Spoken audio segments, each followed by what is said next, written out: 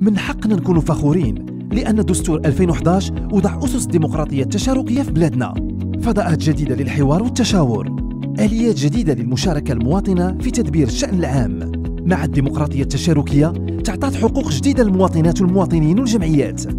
حقوق كتسمح لنا بالتعبير عن الرأي وتقديم مقترحات والتأثير على القرارات العمومية اللي كتهمنا. بغيتي تعرف مزيان شنو هي الديمقراطية التشاركية؟ سهلة.